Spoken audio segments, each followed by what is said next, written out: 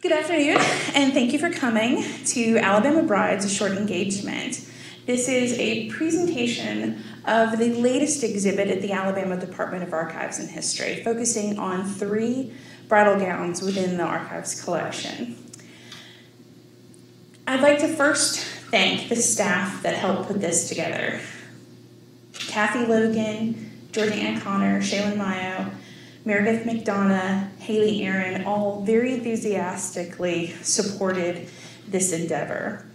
But before we get started with the presentation, I'd like to give you a background history on why we started this exhibit to begin with. Um, several years ago, we received a donation from the Bishop collection.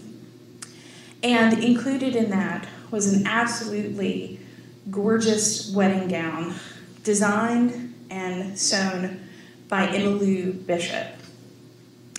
Mr. Bishop uh, unfortunately passed away before his wife's dress went on display, but he would always ask when we were going to exhibit. So, Mr. Bishop, this one's for you. Now, to begin the presentation, we're going to take a look at a timeline of wedding gowns and discuss how fashion has changed through the eras. The majority of the photographs that you're going to see belong in the collection of the archives, although we did have a few gaps.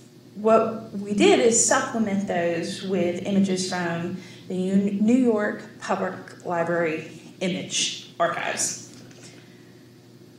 the earliest image fashion plate that we found comes from the 1770s from the New York Public Library's collection.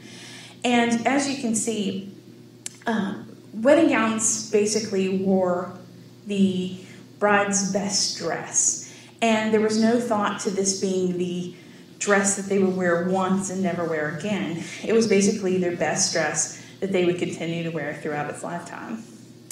But that changes in 1840 with Queen Victoria. Queen Victoria bucked the system when it came to royal traditional bridal gowns. She wore at what at the time was considered a simple white gown decorated with flowers and minimal jewelry. In fact, uh, our modern day conception of bridal dresses goes back to Queen Victoria. Yes. Really? Yes. Isn't it great? it is. Uh, she um, wore a heavy silk satin gown with minimal jewelry and uh, the emblems of the Order of the Garter, which you can see in the image here. And she also wore uh, a wreath of orange blossoms instead of the crown jewels. So this was simpling down of a tradition. But this was a love match. In fact, Queen Victoria was known to have said that this was the happiest day of her life. And our next slide shows the actual dress on exhibit at Kensington Palace, along with her slippers. Now, why did what she wear become so popular and create this tradition that still lasts years afterward? Well, uh, with modern technology in the 1840s, her image circulated the globe of her in her wedding dress. And as you can see on the portrait on the right, that is her actual wedding portrait it, painted in the 1840s. And then on the right, we have the lithograph that would have been seen in newspapers across the world. By 1846, you could see the tradition has changed in the fashion magazines. This fashion plate on the left shows this change from everyday best dresses to this symbolic gown. And the white gown, of course, symbolizes innocence and purity. In 1861, we have uh, Godey's fashion plates and Godey's for women of the Victorian period, period was like the vogue of today. This is a combination of uh, helpful tips and fashion uh, plates so that women could follow the latest fashion. Was Godey's a magazine? Godey's was a ladies' magazine in the 1860s. Well, it actually goes back until the 1830s. Really? So, on the left, we have the original Tallulah Bankhead in 1866. She was married in Wetumpka, Alabama. Now, she is the grandmother of Tallulah Bankhead, the movie star, and the mother of our second director, Marie Bankhead Owen. Tallulah Bankhead's one of my favorite women in that era. and she's really, she strikes out and becomes, you know, they, she's one of the women of the era in the 20s, man. She's gaining fame in Europe. Uh, she was definitely a personality, and one that I would I would love to have her confidence. Um, oh, the image on the left is from our collections, and the image on the right is uh, another fashion plate, just showing how bridal fashions followed the fashions of the day. Another image from our collection on the left is of Hattie Hall in the 1880s.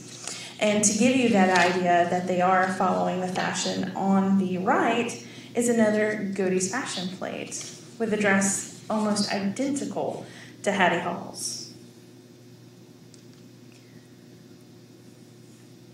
The left is also um, an image from our collection. It's from one of our previous directors on his marriage in 1904. 1910, um, the image on the right, is a wonderful display of how important the wedding ceremonies became. Here you see the entire wedding party has their photograph taken to commemorate the event. After World War I, there was a change in fashion, a dramatic change. You um, go from the tightly corseted and tailored look to a lowered waistline and higher hem line of the 1920s.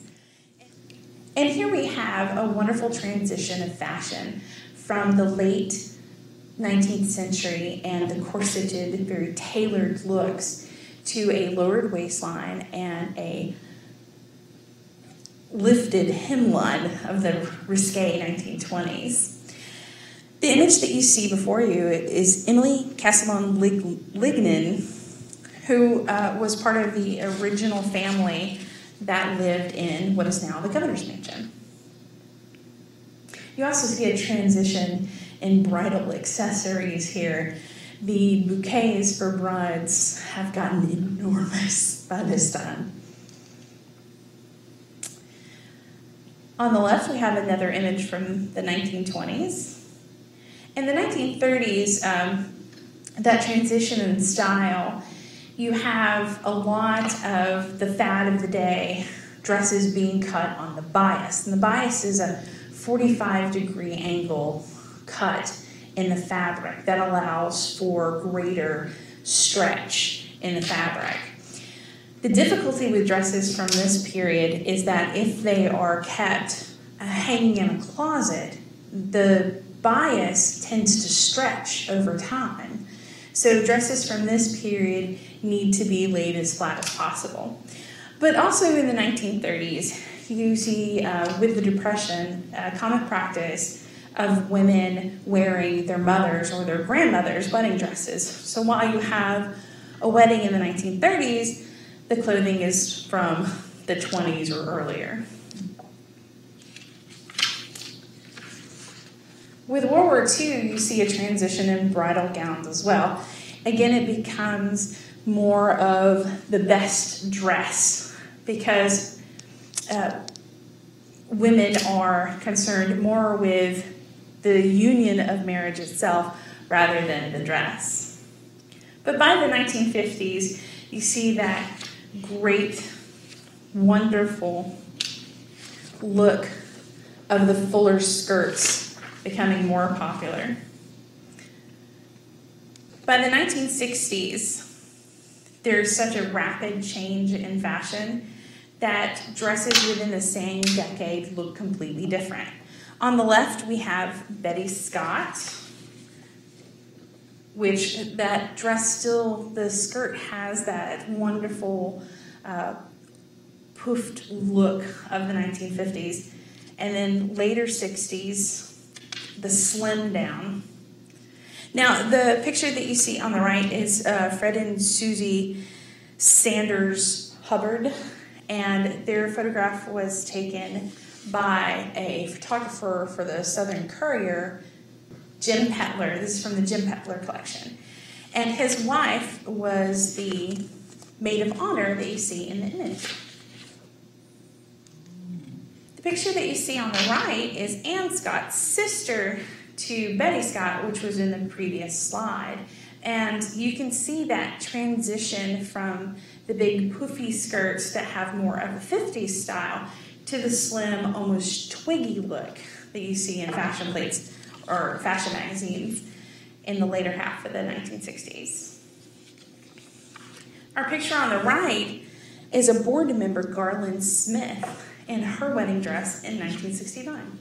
The 1970s see a wonderful transition in not only the political and socioeconomic atmosphere of the United States, but fashion wise as well. The picture on the far left is Peggy Wallace um, in her wedding gown in 1973. Our center image is the Savage Manor wedding. Now, this I'd like to point out is a fun wedding party. Not only do the bridesmaids match the groomsmen, but they also match the carpet. And then we have on the end Georgine Connor and her wedding in South Alabama in 1978.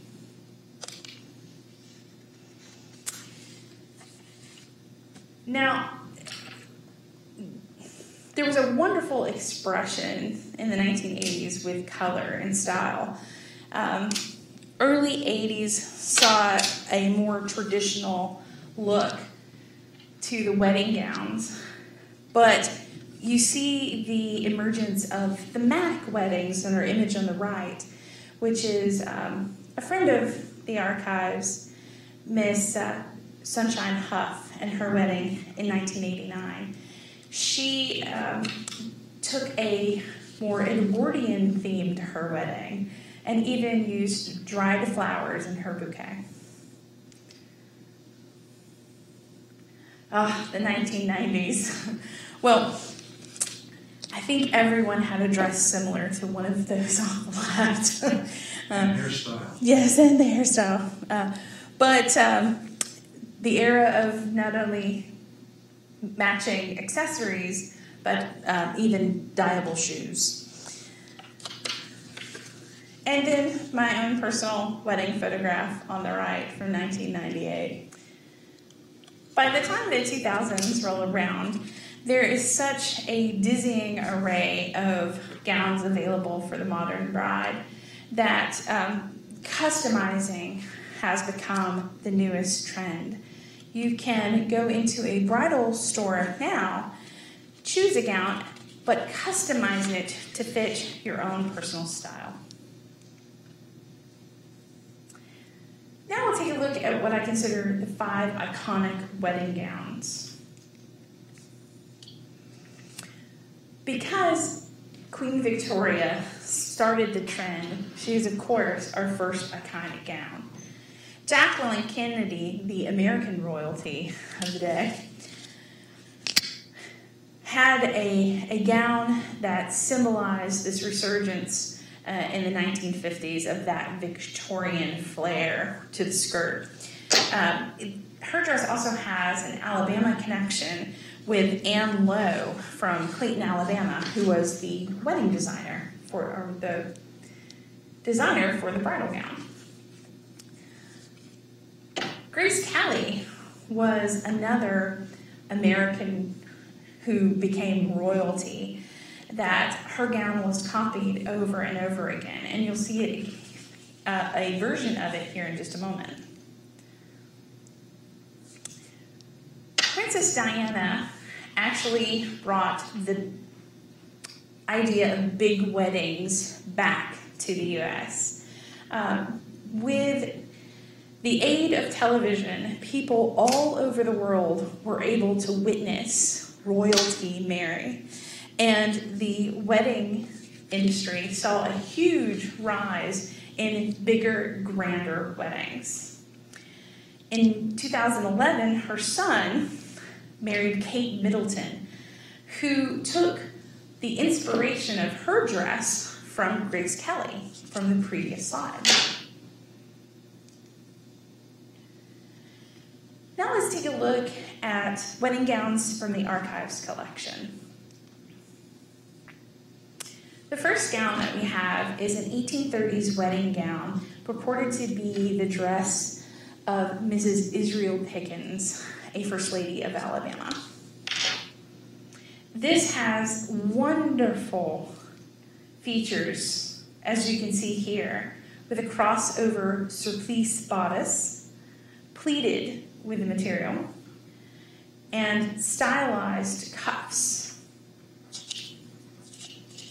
This is a fantastic gown because uh, the leaves that you see here just sparkle in the light.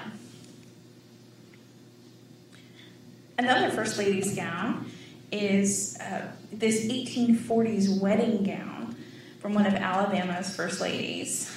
And it is a wonder of construction.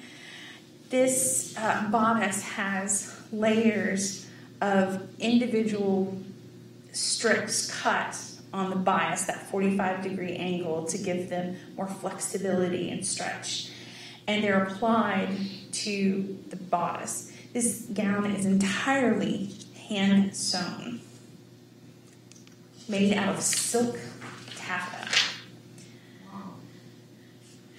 Here's another image of the bodice itself to give you that layered effect of those strips of the fabric cut on the bias. This um, construction had to be, the construction of the bodice had to be done on a pillow shaped for the wearer so that the curve of each of those strips of fabric could be placed correctly. So this was built from the bottom up. And on the right, you see an image of the first lady that wore it. And her name was Eliza Brown Allen Watts. Our next slide is a recent acquisition to the archives, and it was lovingly named the Hippy Dippy Wedding Dress by the owner. uh, this is an early 70s, 1972 uh, wedding dress made by the bride's mother in Tuscaloosa, Alabama. According to our uh, donor, she and her mother argued continuously over the dress and per 1970s fashion, she refused to um, have her hair uh, done at the hairdressers, and so she wanted wild hair and hippy dippy dress for her wedding. Now we're going to take a look at the, bri- uh, the bridal gowns that are on display here on the second floor of the archives. Our first is the Steinecker gown. From the collection of Helen Steinecker, this silk satin and lace wedding gown is typical of the silhouette of the late teens.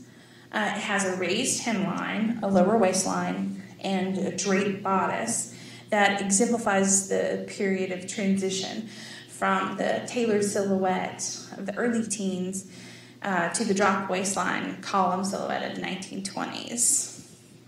Uh, the use of lace on the bodice is subtle but it utilizes the scalloped edge of the lace as a decorative feature at the neckline.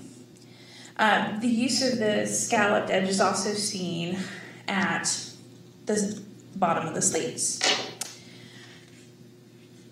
What's very interesting about this as well is the little orange blossom, a little throwback to the era of Queen Victoria. And according to the language of flowers, the orange blossom represents innocence, eternal love, marriage, and fruitfulness. The bishop gown comes to us from the Matthew Borum Bishop collection. And this is the, um, the reason that this exhibit uh, began. In April of 1953, Emmylou Bishop began the process of making her wedding gown. She gathered inspiration photos together, which came to us with the collection, uh, made a list of what materials that she needed, and went shopping. And in the end, she made an absolute confection of Chantilly lace and satin. This is an absolutely beautiful gown with the exception, with the exception of the shoes, is made entirely by Emmylou Bishop. The picture on the left shows how intricate she got when it came to putting this gown together. The covered buttons are layered in each section going from satin covered with a net over that to the net being covered with lace. How long did it take her to make that? That'll be, that's coming next. she even cut pieces of the lace out and applied them to the bodice, which you can see on the picture on the right. She even made the headdress that came with the wedding gown. But what was also incredible is that we have the list of materials when she went to the store, so we know exactly how much yardage of fabric went into this dress. Not only that, we have the receipt that shows us how much she paid for it, which was $60.23. Using an inflation calculator, that comes to a, a little over $500 in today's money. But in less than 60 days, she put this wedding gown together. It's impossible. It's incredible. so, another interesting thing that came with our wedding gown from 1950 from the Bishop collection is that it was, she was actually concerned about preserving the gown past her lifetime and actually sent it to the heirloom conservators, and we have the certificate that you can see here, where they cleaned and stored the wedding gown in acid free tissue and acid free box in 1953. Our next gown, our last gown, is the Lipinski gown. As I mentioned before, the array for of bridal gowns for the modern bride is dizzying and it's all about customization. Here we have Caroline Lipinski in her wedding, Maggie Sottero wedding gown. There it is. This dress also shows that tra- tradition or transition from traditional to more modern, uh, where before the wedding gown symbolized innocence and purity, we have the bride's personality coming out. Um, and and um, where we have a little more demure now, we have a bride being allowed to feel sexy at her wedding. This strapless A-line gown by Maggie Sottero is made with an ivory satin base and lace overlay. The lace is applied to net in almost an ombre pattern where it's scattered more at the bottom and more concentrated near the bodice. It also has the ability to train in the back so that when the bride is ready at the wedding reception to move around, she can take the train and bustle it up. Wonderful details on the gown are these the corset lacing in the back, and the wonderful beading and sequins, iridescent sequins that you can see throughout. But the shoes, oh, the shoes. we have uh, Mischka shoes, which match the satin in the gown. So, best practices for preserving textiles. If you are looking at preserving your wedding gown for future generations, here are your best practices. When storing the gown, always use acid free materials. Store the dress as flat as possible in a cool, dry place, away from light, heat, and humidity. These are what we call agents of deterioration. If textiles need to hang, use a padded hanger. This will alleviate some of the stress on the fibers of the gown, especially near the shoulders. But it's especially important not to hang textiles that are knitted or textiles that are cut on the bias because those are more apt to stretch over time. I'd like to thank you for listening in to this presentation, but special thanks go to the sponsors of this exhibit and the event. Flowers by Buck, Chappie's Deli, Denson's Bridal, the King's Table Catering, Jim Massey's Cleaners, Sweet Tooth Creations, Brindle Rentals, Baumhower's Restaurant, and Sensei. And a special thanks again to the staff who very enthusiastically responded when I said I want to display wedding gowns. Thank you again. Is